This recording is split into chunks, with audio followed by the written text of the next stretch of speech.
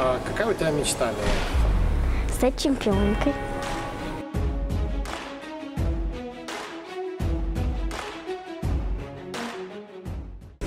Почему мы решили отдать дочку в фигурное катание? Просто так решили. Красивый вид спорта, очень хорошо для здоровья, прежде всего. Решили попробовать. Оказалось очень здорово. Хочу начать с того, что Милана уникальная девочка. Ее талант признают в Федерации Прибалтики, Литвы, Эстонии и Латвии. Милане принадлежит рекорд в возрастной категории про ЧИКС-А. Это дети 6-7 лет. Милана, сколько времени ты занимаешься фигурным катанием?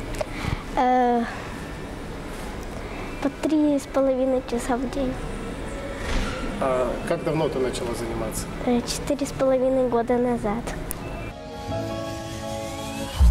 Трудность это только то, что большое расстояние, потому что это ближайший ледовик был от нашего дома, в 50 километрах.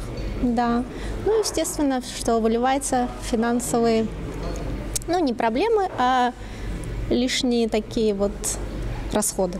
Милана уже вписала яркую страничку в развитии спорта своего города. Именно с нее началась история фигурного катания города Висагиноса. И Сложно представить, сколько еще талантливых детей могли бы раскрыть и реализовать свои таланты в ледовых видах спорта, если в городе Висагиносе построили бы ледовую площадку. Милана, расскажи, на каких соревнованиях ты уже была и какие места занимала? Э, Я занимала первые места, иногда и вторые. А в каких городах ты была? Э, В Тукумсе, в Огре, в- Бремени и в Даугавпилсе. Вообще, на самом деле, э, в Висагиносе очень много талантливых детей и детей, которые хотят заниматься фигурным катанием. Очень много ко мне подходило мамочек и папочек, которые интересовались. Но просто невозможно физически, невозможно, наверное, некоторым финансово осилить э, вот эту дорогу и осилить именно вот это фигурное катание очень далеко и очень дорого получается. Поэтому, к сожалению, многим приходится отказаться от этой идеи. Фигурное катание детей приводят в возрасте 3,5-4 лет. Милана именно в 3,5 года первый раз приехала в город Даугавпилс и встала на коньки. Собственно говоря, здесь мы и познакомились с ней. И вот уже на протяжении трех лет очень плотно сотрудничаем и работаем на достижение высоких результатов. Милана в год выступает на 10, порядка 10 международных стартов, и она практически никогда не проигрывает, потому что она боец, и она знает, что в спорте существует только первое место. И если ты стал вторым, значит, ты мало работал.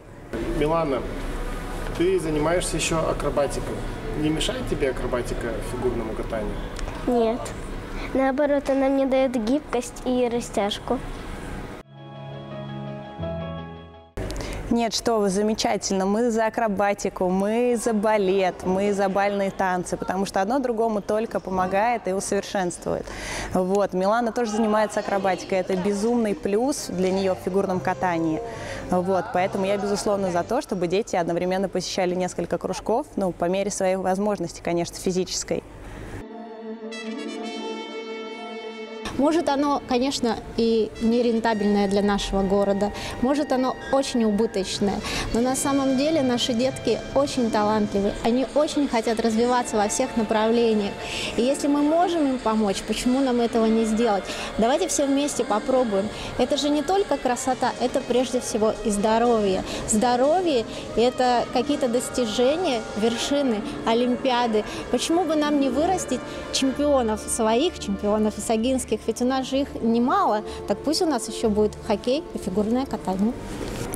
Фигурное катание, в первую очередь, это высококоординационный вид спорта. И, конечно, далеко не каждому суждено добиться высоких результатов в этом, в этом виде спорта.